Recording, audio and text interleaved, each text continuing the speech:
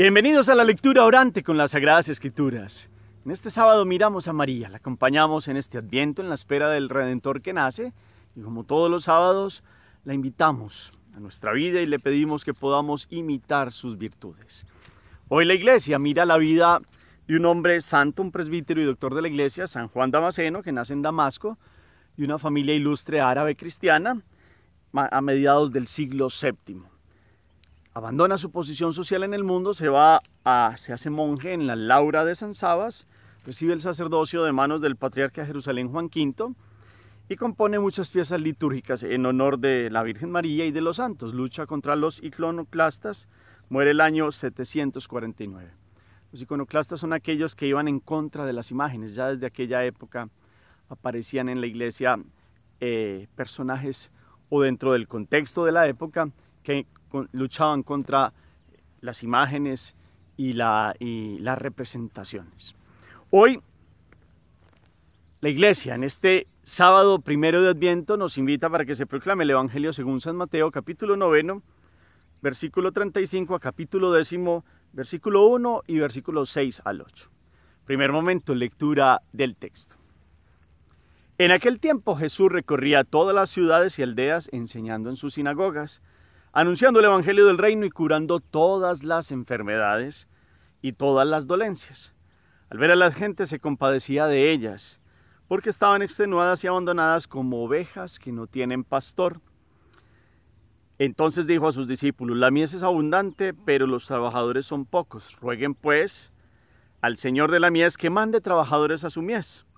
Llamó a sus doce discípulos y les dio autoridad para expulsar espíritus inmundos, curar toda enfermedad y dolencia y a estos doce los envió con estas instrucciones. Vayan a las ovejas descarriadas de Israel. Vayan y proclamen diciendo que el reino de los cielos está cerca. Curen enfermos, resuciten muertos, limpien leprosos, echen demonios. Lo que han recibido gratis, denlo gratis. Palabra del Señor. Gloria a ti, Señor Jesús. Pidamos la presencia del Espíritu de Dios, del Santo Espíritu, digamos juntos. Ven Espíritu Santo, llena los corazones de tus fieles y enciende en ellos el fuego de tu amor. Envía tu Espíritu y todo será creado y renovarás la faz de la tierra. Volvamos la mirada al texto, la voz hace que el texto tome vida en este día, una, dos, tres veces Lectura pausada, clara, eh, miremos todos los detalles, el contexto en que se da, quiénes aparecen, cuáles son las recomendaciones que da el Señor hoy en la palabra. ¿Qué dice el texto? Aparte de eso, después de las lecturas y de, tratar de, recomponerlo con nuestra memoria, para grabarlo en la mente y en el corazón, eh, vamos mirando qué nos queda de sensaciones en este primer momento del pasaje. Segundo momento, meditación. Hemos avanzado ya en esta primera semana de Adviento, llegamos al sábado y hoy con Nuestra Señora le pedimos que como ella podamos escuchar la palabra y ponerla en práctica. Ella es la primera que nos enseña a ser verdaderamente cristianos y tiene ese doble movimiento, escucha, puesta en práctica. Y hoy aparece Jesús, capítulo noveno, hablando de toda esta misión que hay en la iglesia. Y en este tiempo de Adviento la misión tiene una, característica. Jesús es el enviado del Padre. Vamos a celebrar su nacimiento. Este, estos domingos, cuatro domingos de Adviento, son preparación para, para el gran día del 24-25 de diciembre, nacimiento del Señor. Viene la misión, Dios en persona visita la historia humana al género humano, se hace niño. Y en ese hacerse niño crece y después da la misión a los que lo siguen. Y entonces, por eso se dice aquí Mateo, Jesús recorría ciudades, aldeas, enseñando en las sinagogas. Los sábados se enseñaba en las sinagogas, en los distintos momentos iba pasando, iba dejando la enseñanza como el maestro de maestros. De hecho, la primera lectura hoy dice, Isaías capítulo 30, versículos 18 al 21 y 23 al 26 dice, una parte dice, eh, ya no se esconderá tu maestro, tus ojos verán a tu maestro. El nacimiento del niño Jesús es ver aquel que nos enseña lo que verdaderamente el hombre tiene que aprender. Claro, hay muchas cosas para aprender y la ciencia y el estudio en muchos ámbitos de la, de la realidad. Pero hay uno que es maestro con mayúscula y aparece. Nos lo dice la primera lectura que está llena de esperanza, como todas estas lecturas de Isaías esta semana, de Isaías. Y hoy nos dice el maestro que enseñaba en las sinagogas. Tus ojos verán al maestro. Lo vamos a ver recién nacido. Y entonces anunciaba el Evangelio del Reino y curando todas las enfermedades. Anuncio Evangelium, la buena noticia, y curación de enfermedades y dolencias, todas, todas. Jesús vino para la curación total del ser humano. Los ojos se posan en, el, pesebre de Belén y allí está aquel que es el médico de todas las dolencias, aquel que viene a sanar todos los corazones destrozados, aquel que viene a, a rescatarnos de las realidades de tinieblas y de profundidad donde nos hemos metido y donde el ser humano, e, él mismo, se ha ido enterrando. Él viene a sacarnos de estas dolencias del alma y del cuerpo. Y entonces por eso dice que al ver a todas las gentes se compadecía de ellas. De hecho, el primer movimiento de compasión es tomar la condición humana. No podía el ser humano llegar a la presencia de Dios. Estaba cerrado el cielo. El mismo ser humano lo cerró en generaciones desde el comienzo. Y solo uno, Él, podía venir a rescatar. Solo Dios un trino se compadeció el linaje humano, el Padre eh, que nos da el Hijo, el Hijo que viene a cumplir la voluntad del Padre, el Espíritu Santo que queda como el santificador en medio de su iglesia, y toda esta función de Dios uno y trino, y ahora contemplamos el momento de la encarnación, es nada más ni nada menos el mensaje más grande de esperanza porque Dios se compadece de los que creó y de los que ama con profundo y eterno amor. Que eso vaya quedando en el corazón, en la mente y lo meditemos. Jesús se compadecía de, las personas, de ellas, de las gentes, porque estaban extenuadas y abandonadas como ovejas que no tienen pastor. Muchas de las realidades que canta el Antiguo Testamento son, eh, sí aparecen profetas, reyes, sacerdotes, pero no, no, no había buenos pastores en algún momento, unos momentos tiene que llamar la atención porque, porque no miran hacia Dios y se han extraviado. Y el momento que viene Jesús es una imagen de cómo el hombre extraviado se equivoca, sigue a falsos líderes, a falsos profetas, a falsos eh, personajes que, que halagan con, con, con falsas propuestas, porque en el fondo no tienen un mensaje de vida. Pues aquí hay uno que es el pastor con mayúscula, que ve que las ovejas andan extraviadas porque no tienen pastor. Y será el pastor eterno, de quien nosotros hemos recibido esta función del pastoreo, esta misión, de quienes los padres reciben también la función de, de guiar a sus hijos. Qué bueno hoy ver este corazón de Jesús que se compadece del extravío de los suyos, de todo este linaje humano. Ustedes como padres seguramente les duele cuando ven que sus hijos o los suyos se extravían y saben, ustedes dicen, yo creo que se está equivocando y está tomando malas decisiones. Pues aquí aparece uno, hoy Dios, que se compadece y se hace presente. Tus ojos verán al Maestro, el Maestro que enseña no solo con palabras, sino con la vida. Y esto nos deje hoy a nosotros como el corazón palpitante, porque después pasa a decir, cómo hay una necesidad y una urgencia pastoral que no es solo para esa época. Dice, la mies es abundante, pero los trabajadores son pocos. Vienen las comparaciones con la vida agrícola. Hoy también está esta realidad de una urgencia pastoral. Hoy la mies es aún mucho más abundante y los obreros son pocos y, se necesitan valientes hombres y mujeres, testigos del nacimiento del Redentor, testigos de este Redentor que ha venido a dar la vida y que lo ha dado todo testigos de la mejor noticia de la historia humana, que Dios se hace presente. Tus ojos verán al Maestro, el Maestro que enseña, hoy sigue enseñando, hoy se hace presente en la Eucaristía, hoy donde dos o tres se reúnen, ahí está, donde alguien da, hace misericordia con otro, ahí está el Maestro que pasa. En este adviento y en esta natividad, sigue naciendo eternamente en el contexto histórico humano, Dios es un eterno presente y sigue llamándonos a la urgencia de la misión.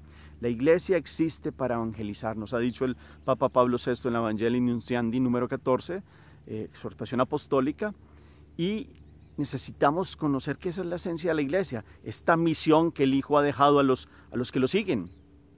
Es una misión que no terminará porque preparará el evento más grande y es el culmen al que llegará la salvación que Jesús nos ha dado. Aparecerá en, en su segunda venida, pero vamos haciendo la misión. Esta natividad, este nacimiento de Jesús, los invito para que meditemos si estamos cumpliendo nuestra misión de sacerdotes, profetas y reyes, con, esta, con este profetismo para el mundo de hoy, con esta capacidad de ir en misión todos, los padres con los hijos, eh, los nosotros en el contexto cotidiano, sacerdotes, laicos, todos somos la iglesia, no solo los sacerdotes, y tenemos esta misión, que estas fiestas nos recuerden aquello, que estas fiestas que han sido la celebración de la Navidad en generaciones, no nos dejemos quitar el nacimiento de Jesús porque se ha convertido en todo y mucho, menos en, mirar los ojos y poner los ojos en el pesebre, el nacimiento del Redentor que nos envía la misión, con un corazón de niños como lo ha querido tener Él también. Y por eso entonces nos pide que sigamos rogando al dueño de la mies que envíe trabajadores a su mies, que este tiempo sea pedirle y clamarle a Dios, al niño que nace, por los méritos de la infancia, porque no se nos negará nada, nos dice la novena, que podamos pedir muchos y santos trabajadores de esta mies, sacerdotes y laicos comprometidos, hombres y mujeres dispuestos a llevar la mejor noticia en este contexto actual, donde se sigue ofreciendo la esperanza a un mundo que camina muchas veces en tinieblas. Hay muchas propuestas de bien, pero hay mal y hay un combate. Y en ese combate nosotros ponemos a Jesús con la vida, con las palabras, como la mayor esperanza del mundo. Y entonces llama a los doce, reglón seguido, les da la potestad de curar, expulsar espíritus inmundos, curar toda enfermedad, autoridad les da para esta expulsión del mal y les permite enviarlos con estas instrucciones. Ir a las ovejas descarriadas de Israel, Jesús dirá también, vayan a todos y bautícelos en el nombre del Padre y del Hijo y del Espíritu Santo, proclamen diciendo que el reino de los cielos está cerca. Celebrar Navidad es ver a quien que es el reino Jesucristo que nace. Y celebrar ahorita Adviento, Navidad es constatar aquello y ver cómo Dios quiere nacer y sembrarse en el corazón de cada uno de nosotros como una semilla que no, que no muere. Y está en nosotros aceptar que Él venga y nazca en el corazón. Y está en nosotros tener este apostolado de seguir sembrando, seguir llevando la semilla, ver que el que, el que se compromete tiene esa capacidad de la autoridad de Dios, tiene capacidad de, también de milagros, de, curación física, pero lo más importante, la curación del alma y la expulsión del mal. Y aquel que sigue a Jesús tiene la capacidad de ser esa presencia de Jesús en el mundo de hoy que sigue erradicando el mal, que ha sido el problema del ser humano que se equivoca cuando, cuando elige, cuando decide. Dios nos da su espíritu, nos da la capacidad de obrar bien y de ir generando contextos de familias, de ciudades, de países, de sociedades que toman la mejor opción y es la opción de Jesús. Por eso entonces curen enfermos, resuciten muertos, limpien leprosos, echen demonios. Lo que han recibido gratis, denlo gratis. Tiene que quedar aquello en el corazón. que tienes que no se te haya dado, que no hayas recibido? Lo hemos meditado mucho. Claro, cada quien va, generando su vida y tendrá un esfuerzo y, decir, bueno, gracias a Dios me he esforzado en esto pero se le ha dado la vida, se le ha dado talentos, cada uno de nosotros ha recibido tantas y tantas cosas. Por eso lo que hemos recibido gratis hay que, devolverlo, hay que hacer un apostolado de gratuidad. Y en este tiempo de Adviento es el momento para preparar esta respuesta generosa, haciendo que la vida de los demás podamos llegar a, que Dios nos utilice como causas segundas, es decir, de ir y entrando Él en nosotros ayudando a que los que están tristes tengan esperanza, a los que tienen momentos duros de providencia, pues cómo se les puede ayudar estructuralmente hablando, no solo en coyunturas de que te doy ya, cómo nos ayudamos todos en esta iglesia que tiene una misión y cada uno de nosotros tenemos la misión. Y en este tiempo vemos a Jesús como niño y lo sentimos cerquita, el Dios que se hace cercano, no como otras teorías de, movimientos filosóficos y otros movimientos en la historia donde hablan de un Dios ausente, de un Dios solo relojero del mundo que crea y se desaparece. No, Dios es cercano, ha querido meterse en la historia, nos ha dado una misión. ¿Cómo estamos respondiendo a esa misión que es personal, cada uno? No solo para los sacerdotes, todos los bautizados tenemos esta misión de llevar la mejor noticia, de aportar para la curación, de la sanación del cuerpo y del alma de los demás y en la erradicación del mal, porque Jesús ya venció al mal. ¿Cómo estamos aportando nosotros con un sí rotundo y radical, con palabras, gestos, acciones, vida integral, para que esta Navidad sea, que vamos preparando con este adviento, sea un hecho real donde Dios está presente en medio de nosotros y en su imagen más clara, un niño que tiene el corazón más puro, que podamos crecer en pureza, en sabiduría y en presencia delante de Dios. De eso se trata. Hagamos oración. Bendito sea, Señor, en este sábado por tu presencia y tu gracia, porque nos preparas en este camino de adviento, del advenimiento tuyo al mundo, a la historia, tomando carne humana, tomando un corazón de niño, enseñándonos a que tú has venido a cumplir la misión del Padre. Que nosotros hoy comprendamos que por el bautismo, sacerdotes, profetas y reyes hemos recibido la misión, cada uno, de anunciarte, de mostrarte, de seguir llevando al mundo concreto de hoy eh, la capacidad de dar una respuesta en la esperanza.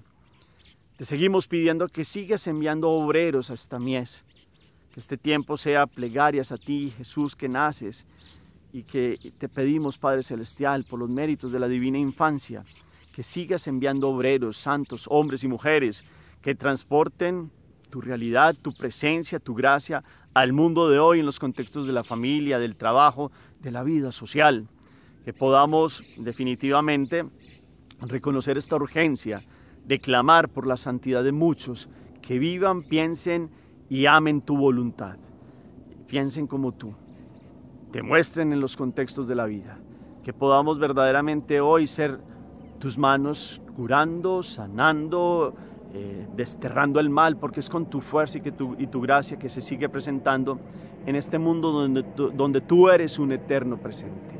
Gracias Señor. Y en este sábado, por la intercesión de la Santísima Virgen María, permítenos tener un corazón puro y acompañar a nuestra Madre en este, este proceso del nacimiento de Jesús en esta generación, en nuestras vidas, en nuestras familias y en nuestras ciudades. Amén. Cuarto momento, la acción. ¿A qué me mueve esta palabra hoy en este tiempo de Adviento? ¿Qué acciones concretas, cotidianas voy a hacer para reconocer que tengo una misión cada uno en sus contextos de vida? ¿Cómo estoy haciendo mi, profetismo? Porque somos profetas por el sacerdocio. Común también desde el bautismo, somos profetas por ser eh, hijos de Dios, bautizados. ¿Cómo estamos anunciando a Jesús?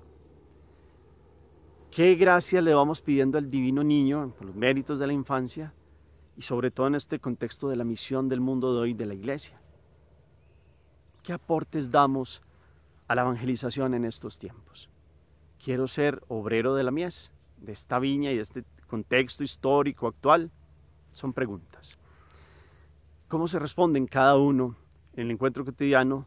Va trazando toda una serie de, de vivencias personales que van haciendo que que la palabra de la presencia de Jesús llegue a sus familias y a sus contextos de trabajo.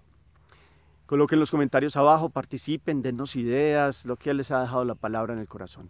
Señor los bendiga, los llene de su paz y de su gracia en el nombre del Padre, y del Hijo y del Espíritu Santo. Amén. Feliz día para todos.